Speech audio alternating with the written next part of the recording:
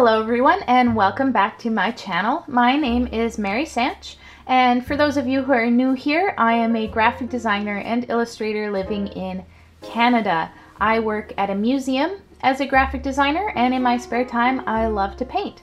So I have a sketchbook here that's freshly finished. It's a Moleskine Art Plus sketchbook um, filled to the brim with drawings and paintings and I'd love to show you around it. On the front here, I'll just talk about this quickly.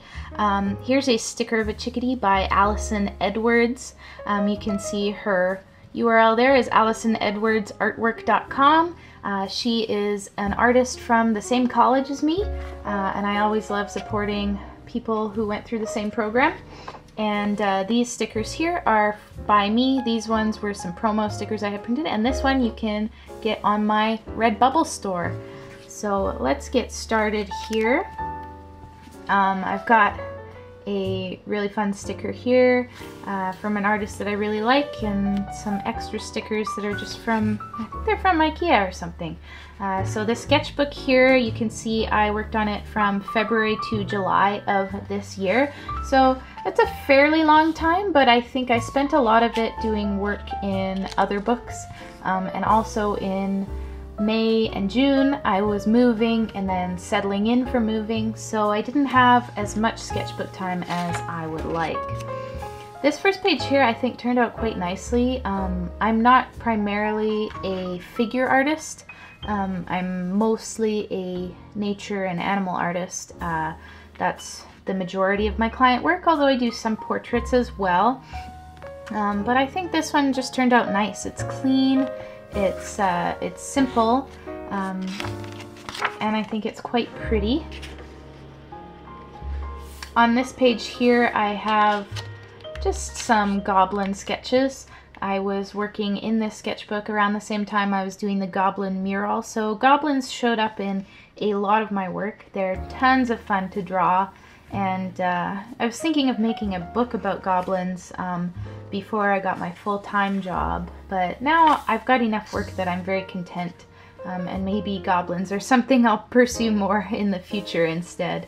Um, here is a nice test page uh, with Cascade Green and Serpentine Genuine watercolors from Daniel Smith. You can see the separation of the pigments in Cascade Green really nicely here. Um, I did a wash and graded it out to really draw out that pigment separation, which is so beautiful. And just a generic dog head on one side. A couple of other dog creature sketches and some pen tests up here of some pens that I bought. Uh, I'm working on a novel in my spare time and these are some of the creatures that appear in the novel. Um, they're sort of my version of a werewolf, I guess. Uh, I really like, do you guys know the werewolf design from the Harry Potter movies?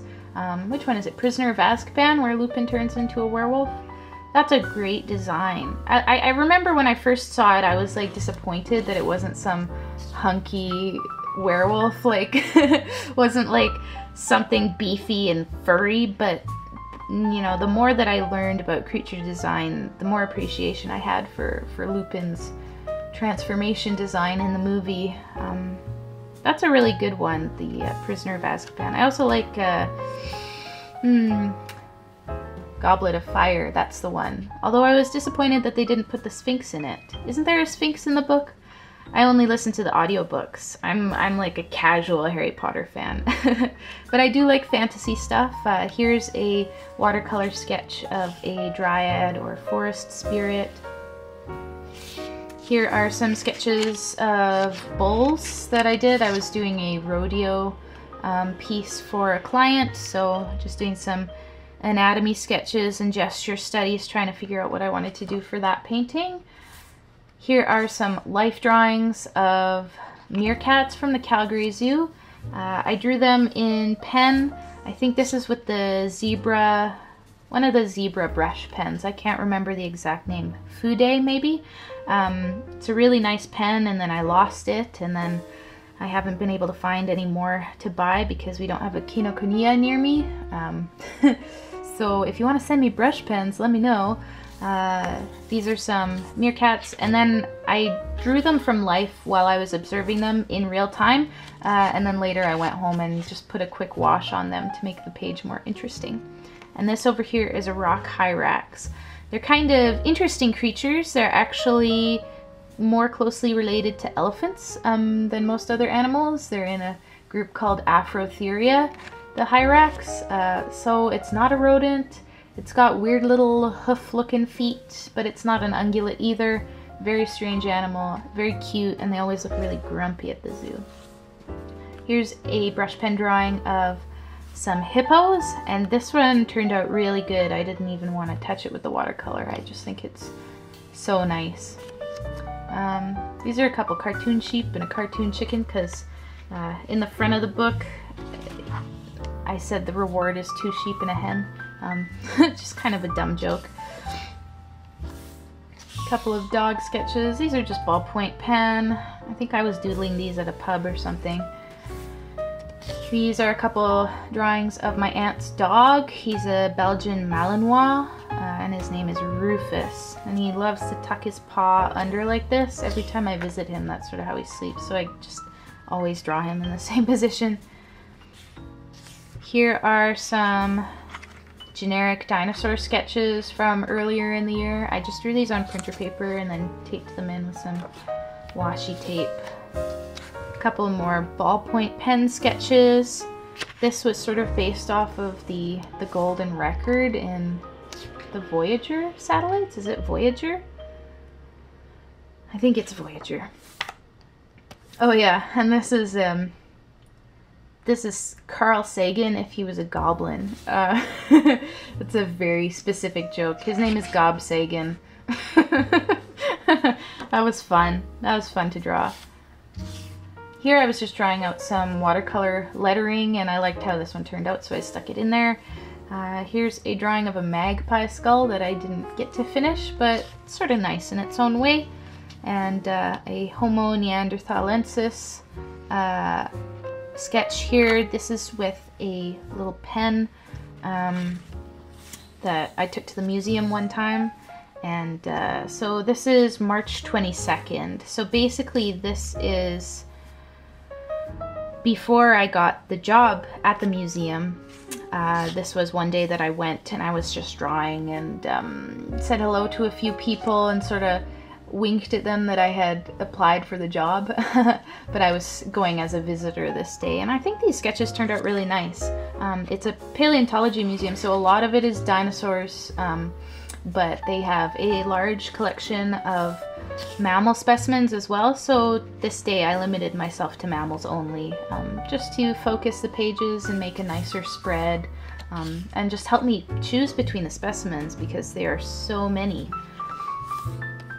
Here's just a really quick dragon pencil drawing, another dragon pencil drawing, and a pencil drawing with some watercolor.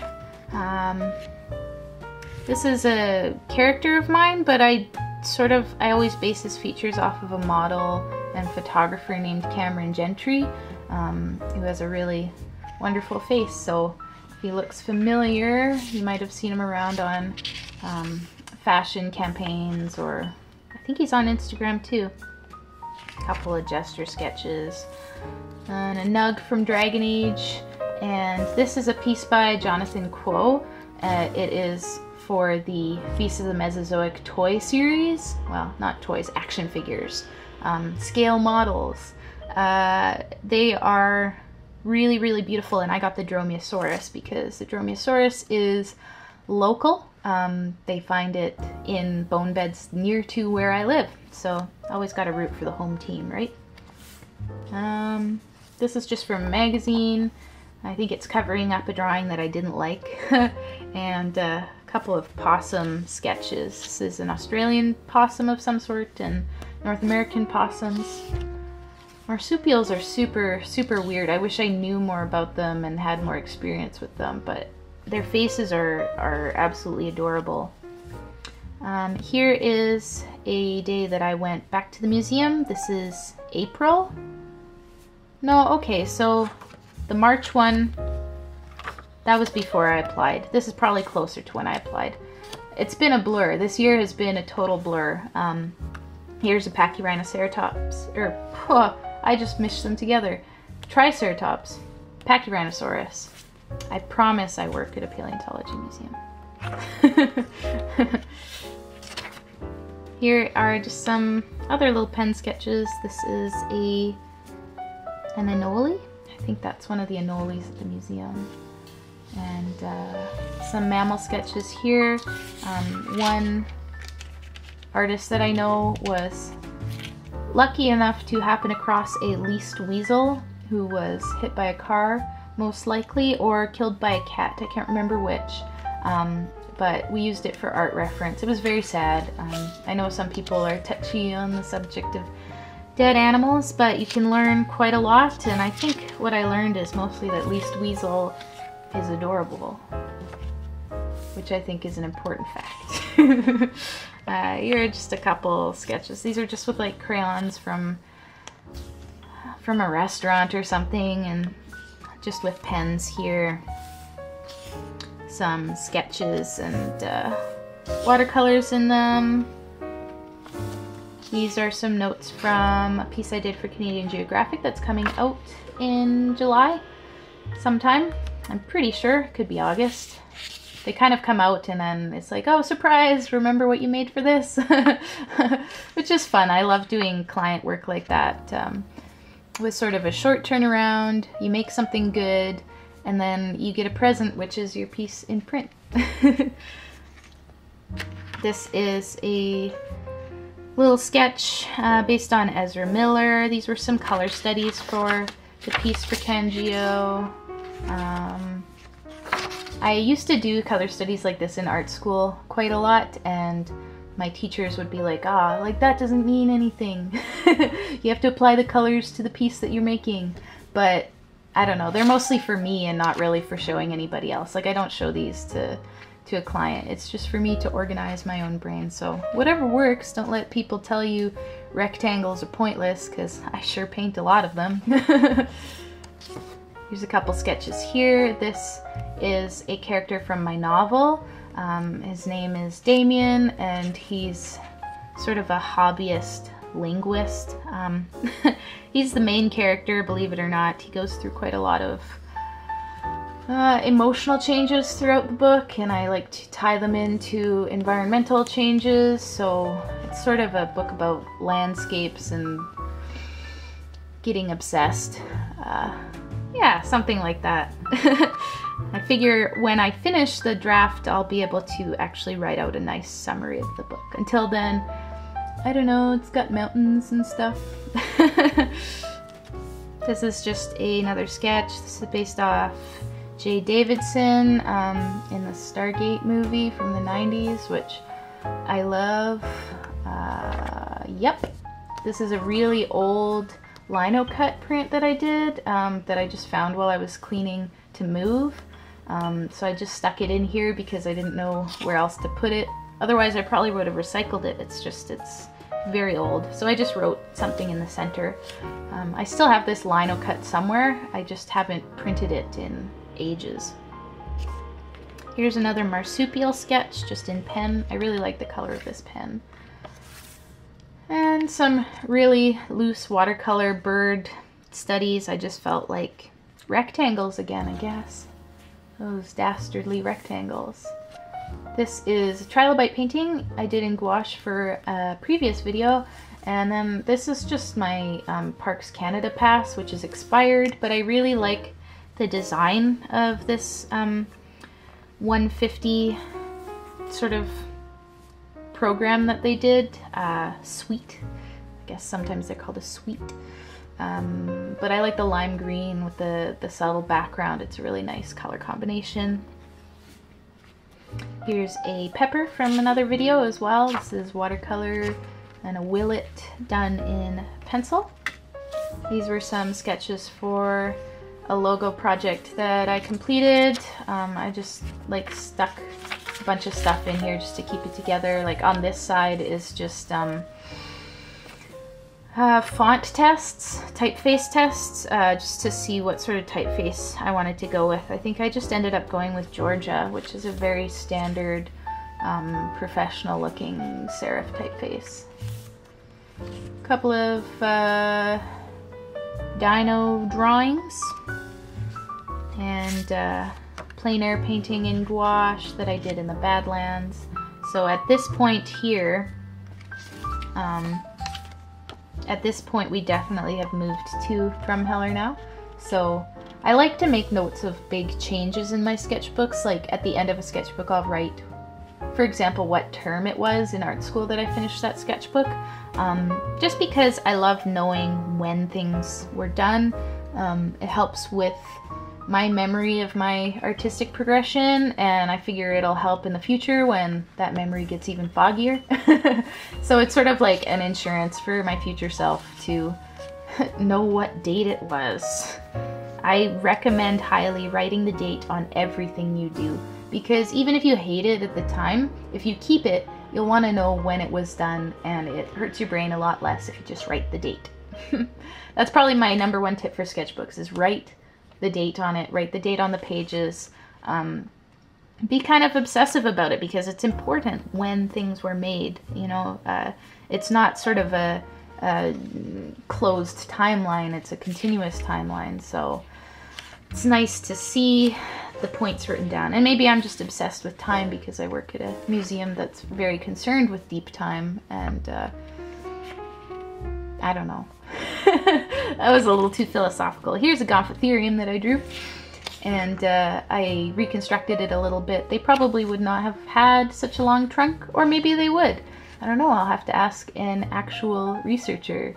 Um, but we have a skeleton of a Gomphothere at the museum, and uh, when I'm not feeling like drawing bones, I'll sketch out the bone and then draw the flesh on top.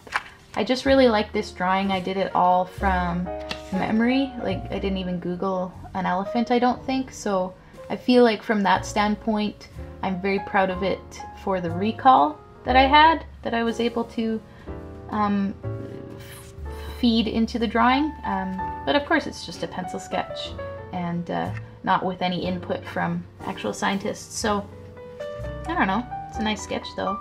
I love drawing whiskers on things. Pretty much every mammal has whiskers and they're delightful to draw. Here is a set of line drawings um, with Posca marker backgrounds.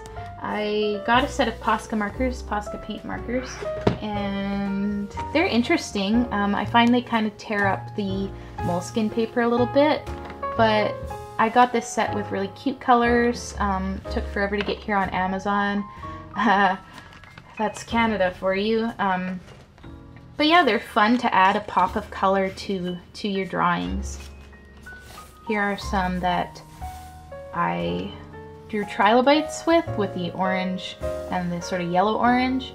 Um, I think these turned out pretty nice, but sometimes the markers I find are a bit sploogey, like they come out with too much paint. Um, but this guy's quite nice. Here are some ground squirrels. Um, where I live, there's tons of ground squirrels. There's so many, um, and they'll try to eat your food and stuff. on this side is a couple of plein air paintings that are also on my channel as time lapses, so you should go check them out. And these were two pieces of paper that I just had like lying around and I wanted to use them up, so I just did some big washes with some watercolors and uh, usually what I'll do, like, I like to do these big washes because then I can go scan them at a high resolution and then use them in my digital artwork um, or in my designs because if they need a texture or something, then I have all of these textures that I've made myself, so therefore I own them and can use them for whatever I want.